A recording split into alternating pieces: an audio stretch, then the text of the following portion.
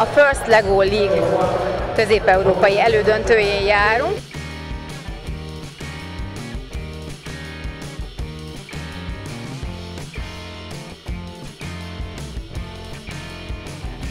Szoktál gyakran legózni otthon? Hát, igen. És milyen legóid vannak? Egy elektromos vonat, meg még egy jó pár autó, meg melyik a kedvenced? A elektromos vonat, meg a autók. Gondolom, hogy neked is van otthon legód, neked mi?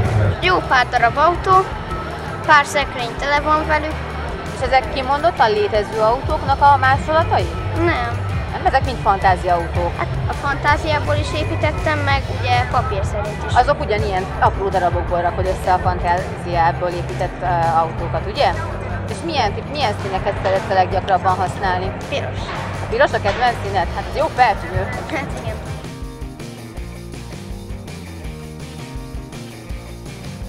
Itt állnak előttem a magyar csapat tagjai. Mi a feladatod a csapaton belül? A kutatásban segítek, én vagyok úgymond a fő ember, aki kutatással foglalkozik.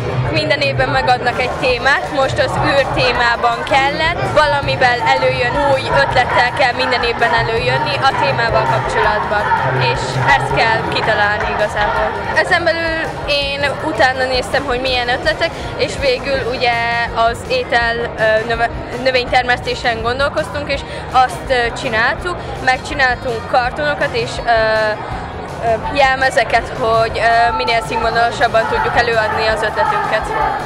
És milyen jelmezek készültek? Három űrhajós jelmez készült, és egy ilyen tudós jelmez. A, egy másik csapattaggal Ádámmal együtt főleg a robot felkészítésért feleltünk, én inkább a programozásért, még ő inkább a megépítésért és a mechanikáért.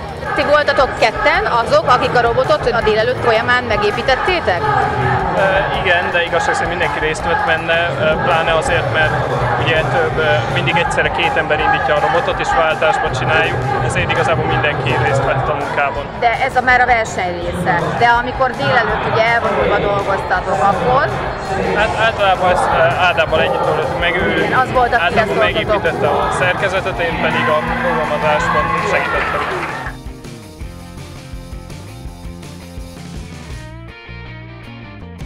kettes számú csapattag, aki a robot építéséért felelős, mesélj erről nekem valamit. Ez érdekes, mert ugye legtöbbször ez, mivel ugye időigényes kitalálni, megnézni, hogy működik egy mechanika, aztán azt ugye megépíteni, kicsit megerősíteni, hogy stabil legyen, hogy jól működjön a programmal. Ez, ez, a, ez nagyon sokszor egy picit ilyen egyedüli munka kell, hogy legyen, mert nagyon sok idő belemegy a kísérletezésekbe, a pakolásokba. Aztán ugye többször még a más csapattagok is tudnak segíteni ötletekkel, hogy mit kéne változtatni, mit lehetne.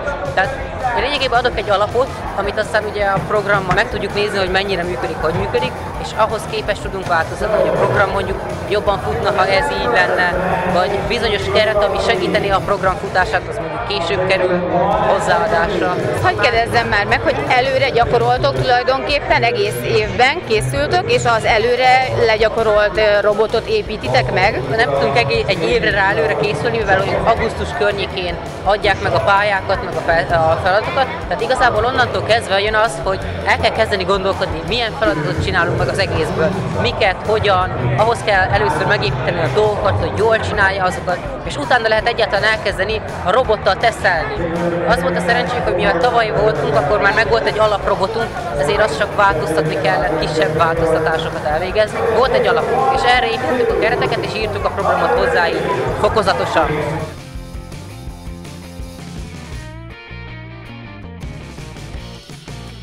Én a csapatban a kutatáshoz, amit Anna ugye már elmagyarázott, ahhoz csináltam animációt, meg képeket. Én ezekkel mindig is foglalkoztam, mindig érdekeltek a grafikus design dolgok, úgyhogy gondoltam most van lehetőség, csinálok hozzá, amit tudok. És mennyi idővel hamarabb kezded el a munkát gyakorlatilag a verseny előtt? Uh, hogyha napi egy órát rászánok, akkor mondjuk kész van egy hét alatt. Ó, Csináltam egy animációt, ahogy ugye a Földről elindulunk a Titánra, a bolygó, amit célba vettünk a kutatásunkban. Nem tartott volna sokáig, csak voltak kis problémák a programokkal, de megoldottam. Igazgató urat is megtaláltam. Igazgató úr, hogyan értékeli a csapatnak a jelenlétét a versenyen?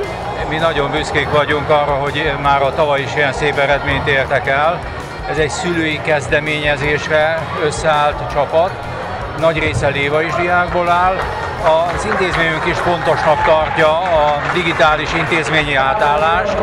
Van hatodikban digitális osztályunk, és most több pályázatból is olyan eszközöket szereztünk be, amelyből ilyen makerspace és Lego robotokkal tanulhatnak a diákjaink. Eddig csak jelképes dolgokkal járult hozzá az intézmény, de a jövőben tervezünk komolyabb anyagi akkal is támogatni a csapatot. Ha tetszett a videó, ne felejtsd el lájkolni. Hasonló 360 fokos videókért iratkozz fel a Hírek 360 YouTube csatornájára, illetve kövess minket Facebook és Instagram oldalainkon is.